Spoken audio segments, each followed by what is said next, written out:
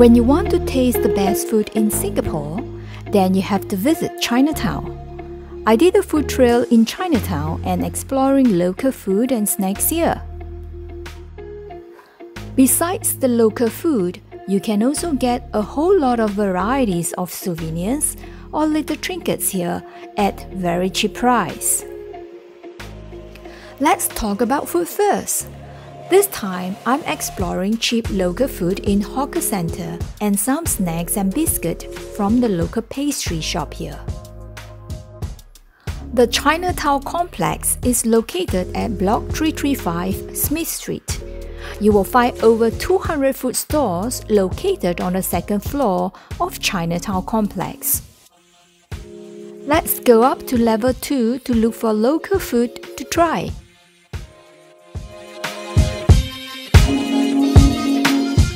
The Hong Kong Mongkok Dim Sum is one of the highlights here.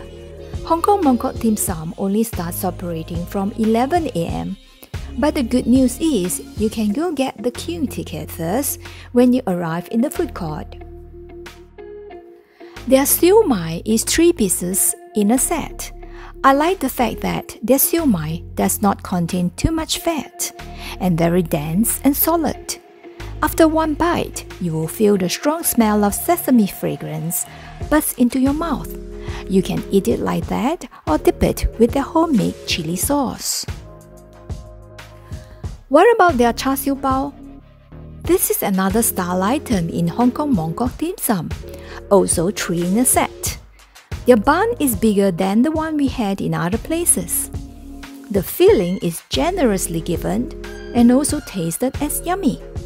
You can tell they are freshly made after one bite. Really worth it for such a price tag. Wow, I can't believe with this price tag, we get to have the Ji Zhong Fan with so many pieces of prawn. I have to warn you, the queue is very long before the shop starting at 11 am.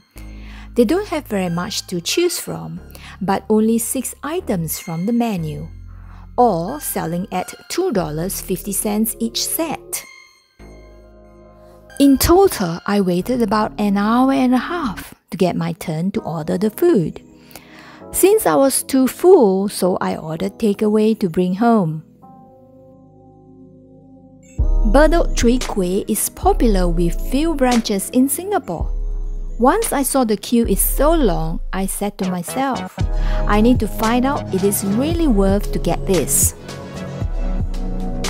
I wanted to know if the Bedok Chwee Kueh tastes better.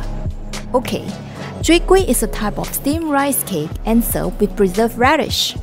I first tasted Chwee Kueh in Singapore.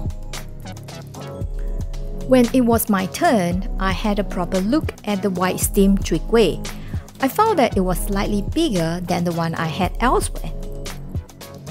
It is about 50 cents each and two for a dollar.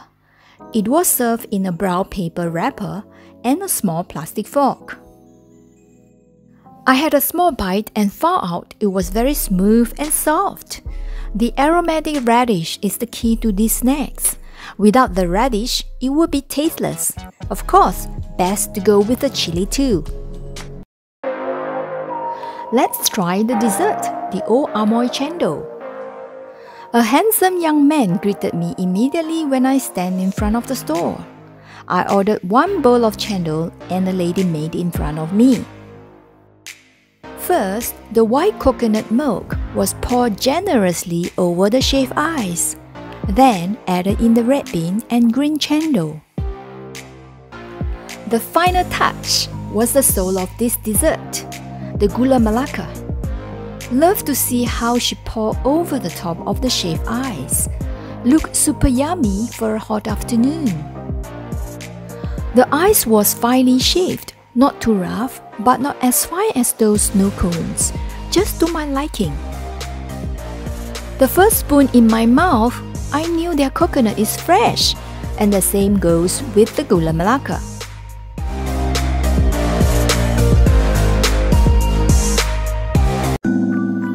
I was so surprised that this uncle made sakema in the hawker store here.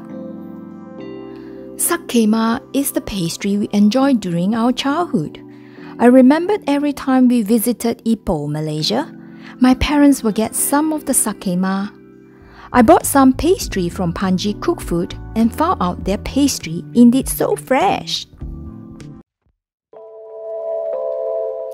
Didn't plan to have Yong tofu at all, but saw the long queue and got me curious. So I joined the queue as well. I have to say this stall has the longest queue in Chinatown complex. First, the price is attractive, only $3 for 6 pieces. The stall next door is also owned by Xiuji Yong Tau Fu. You can see they hand make the fish paste and fill in the tao fu and tao bok.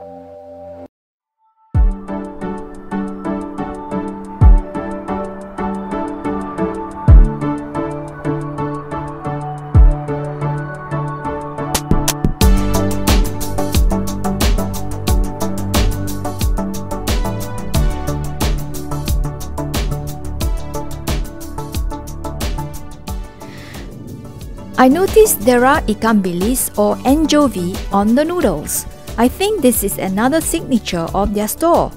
One bite and you can tell their ikan bilis is so crunchy and freshly fried. In Xiuji Ikan Bilis Yong Tau Fu, don't expect to get the sweet sauce. I tell you why. Because you don't need it for their Yong Tau Fu. Their version tastes super fresh and you can just eat it like that. It's time to recharge and have some dessert again. All Balling dessert sell different types of glutinous rice balls, traditionally eaten during the Lantern Festival or Dongzhi on the last few days of the year. There is a queue at 1950 Coffee. This is a Michelin recommended coffee and kaya toast. Well, I don't find it super special. The half-boiled eggs aren't as big as Ya Kun, and the toast is just normal.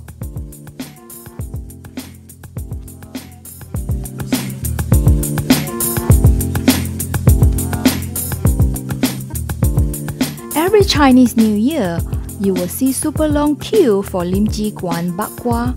The line is long and the waiting time can be more than an hour to get your bak kwa the sweet meat that traditionally eaten during the Chinese New Year.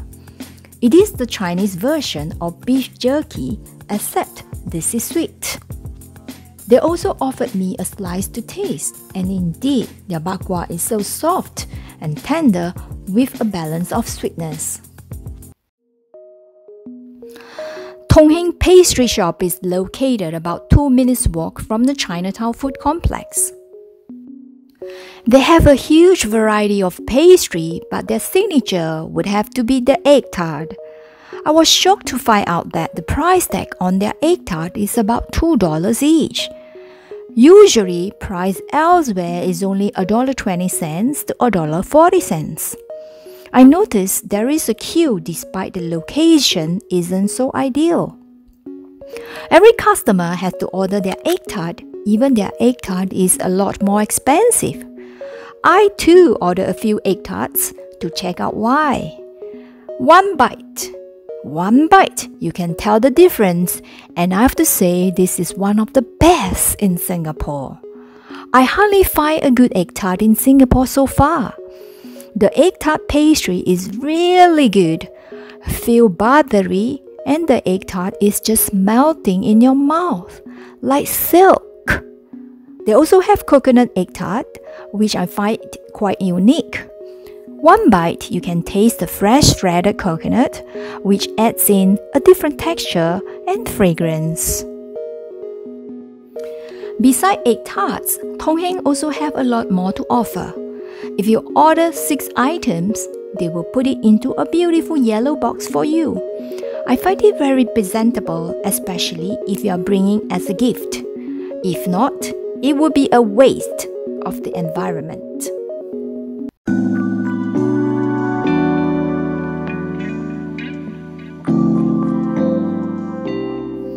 What is next? After the food trail, you can go check out the colorful old shop housing here.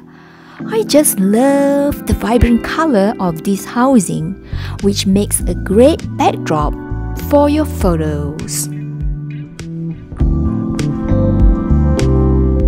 The mural is another good way to discover Singapore past and present. Simply stroll around and you will find beautiful art everywhere.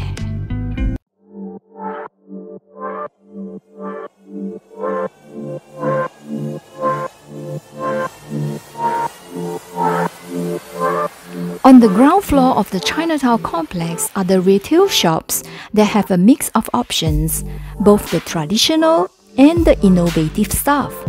You will find many of the shops here owned by seniors, and their regular customers are also elderly folk.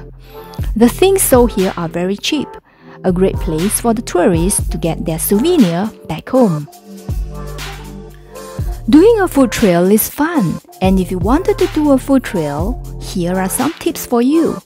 Don't come with a totally empty stomach, as some good food stall always have a line to queue. The queuing part may not be fun, but when you taste your food, it may be very well worth it. But sometimes it may not be the case. Anyway, at least you can still solve your curiosity about a food store. Find out why so many people are queuing and the reason behind it. Well, it also depends on your own liking as well.